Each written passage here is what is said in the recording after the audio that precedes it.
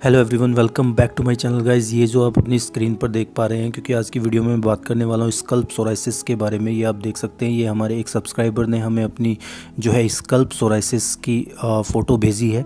आप देख सकते हैं कितनी जो है बैड कंडीशन में है इनका स्कल्प सोराइसिस और आप समझ सकते हैं, जब इसमें ईचिंग होती होगी तो कितना पेन होता होगा, कितना जो है तकलीफ़ होती होगी। आप समझ सकते हैं तो सोराइसिस को बिल्कुल भी आप मज़ाक में ना लें, इसको लाइटली ना लें, ये आप देख सकते हैं। इन्होंने जो है मुझे अपनी पिक भेजी है और मैं इनकी तकलीफ़ समझ सकता हूँ।